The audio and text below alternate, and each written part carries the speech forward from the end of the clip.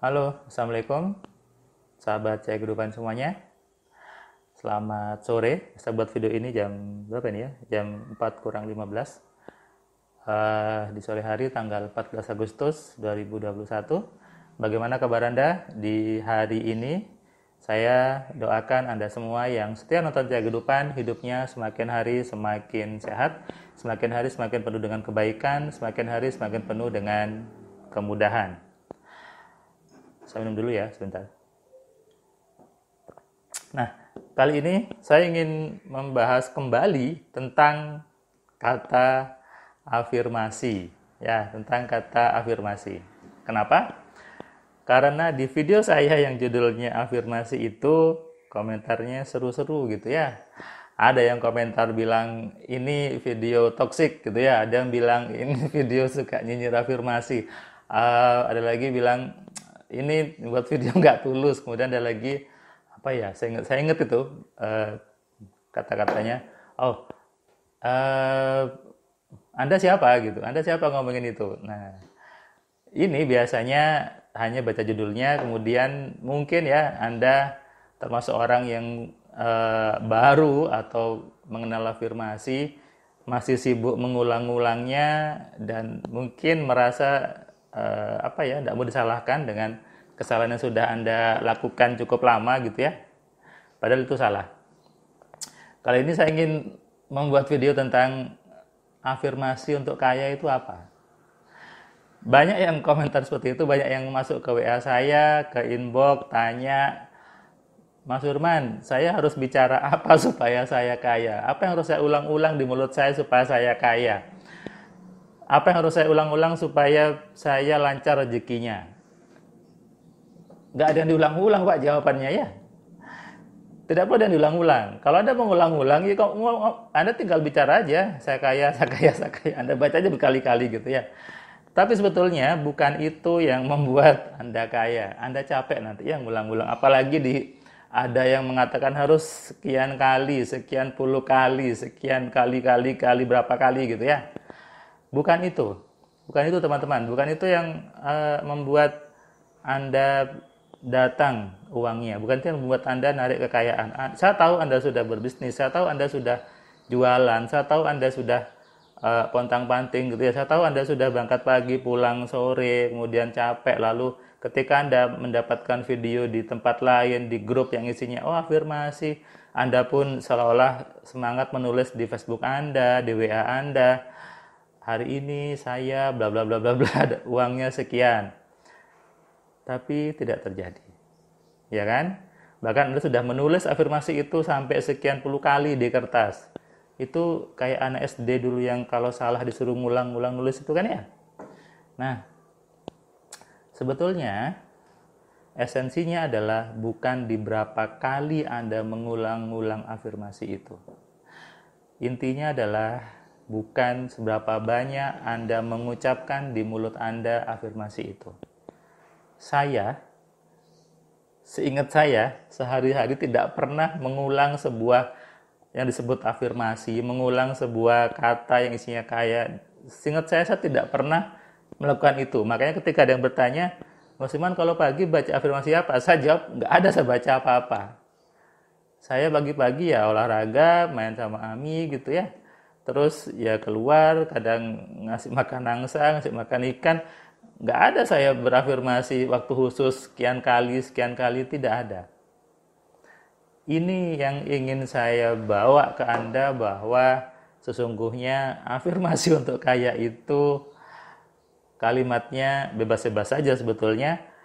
Kenapa? Yang membuat terjadi adalah keselarasan dari kalimat itu terhadap semua program di kepala Anda. Dan program di kepala Anda menentukan sikap Anda.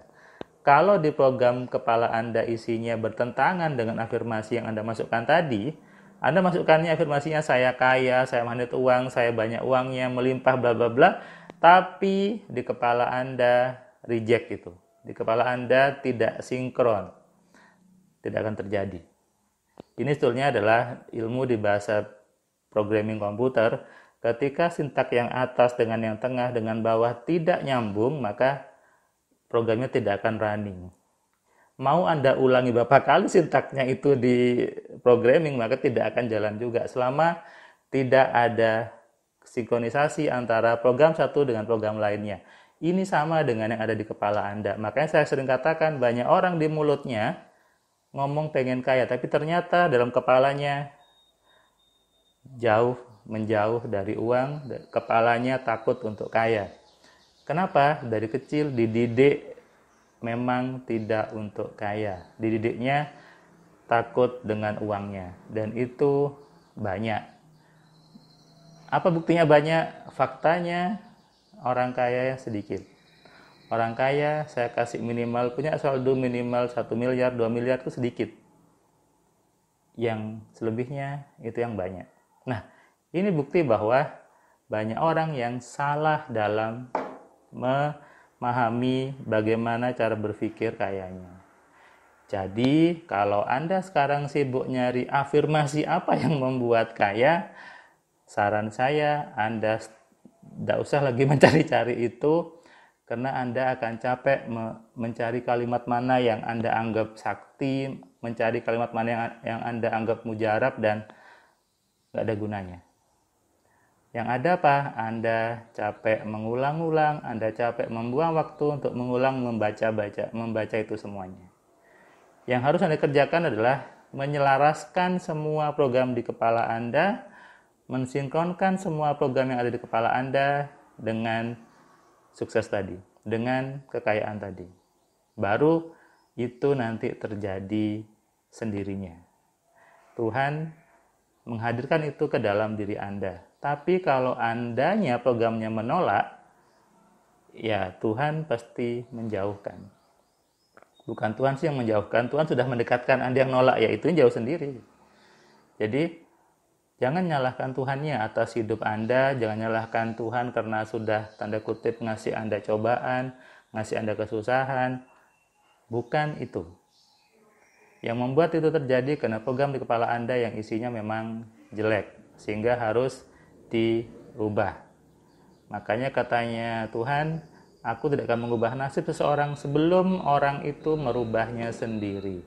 Merubah, bukan berafirmasi. Yang ada adalah mengubah dan berpikir. Itu dua kuncinya sebetulnya, mengubah dan mau berpikir, ya. Jadi kalau Anda kemudian marah-marah ketika saya salahkan sibuk afirmasi, anda nyinyir gitu ya, Anda komentarnya aneh-aneh dan Anda bertanya uh, siapa saya, Anda cari aja nama saya, Anda cari buku-buku saya, Anda baca blog saya, Anda lihat semua orang sudah berjarah MC bukti-buktinya dan Anda tahu apa yang saya sampaikan, Anda tahu apa yang saya uh, share ke banyak orang dan itu sudah terbukti terjadi. Kalau Anda mencari afirmasi, kalimatnya oke, okay, tidak apa-apa. Anda bisa baca buku saya yang kitab sugesti itu, saya buat ada 101 kalimat sugesti yang isinya saya nggak nyuruh berulang-ulang. Anda saya suruh baca aja di sebelumnya, di bagian sebelumnya ada cara bagaimana menerapkan itu supaya masuk ke dalam pikiran Anda dan berjalan dengan benar. Tidak ada saya nyuruh mengulang-ulang. Coba deh Anda baca yang buku saya kitab satu-satu sugesti ya, supaya Anda memahami bagaimana sih kerja sugesti yang benar, bagaimana sih kerjanya afirmasi itu, sehingga Anda tidak lagi mencari kalimat afirmasi untuk kaya. Dan saya katakan, jangan sibuk hanya berafirmasi. Jangan sibuk hanya membuat kalimat-kalimat yang sesungguhnya Anda sendiri tidak selaras dengan itu, Anda sendiri tidak sinkron dengan kalimat-kalimat itu. Oke? Jadi ketika Anda bertanya ke saya afirmasi apa yang buat yang bisa buat kaya, jawabannya saya kaya sudah selesai. Nggak perlu panjang-panjang, nggak perlu sampai kalimatnya baca-baca puisi itu ya, nggak ada gunanya. Karena yang penting bukan kalimatnya, yang penting adalah bagaimana Anda mengenali pikiran Anda, bagaimana Anda mengontrol pikiran Anda, dan bagaimana Anda bisa memaksimalkan pikiran Anda dengan benar. Sadari ini dan renungkan. Tonton sampai habis dulu baru dikomentari ya. Oke, terima kasih. Salam dari saya. Salam sehat, salam kaya, salam cerdas. Dari saya Firman Pratama. Assalamualaikum. Terima kasih buat kalian yang sudah nonton video saya dari awal sampai yang video terakhir. Saya ucapkan terima kasih dan kamu yang belum subscribe, kamu subscribe ya. Dan kamu bisa share ke banyak orang lainnya dan ingat nyalakan loncengnya supaya apa? Kamu dapat notifikasi ketika ada video baru di Cahaya Kehidupan. Tentu kamu sudah nonton banyak video dari Cahaya Kehidupan dan kamu bisa tuliskan komentar di setiap videonya kamu tuliskan komentarnya kamu berikan bukti bahwa di video ini di channel ini membuat hidup kamu berubah sehingga kalau kamu ingin hidup kamu berubah atau kamu ingin teman kamu hidupnya berubah maka kamu sarankan mereka untuk nonton di cahaya kehidupan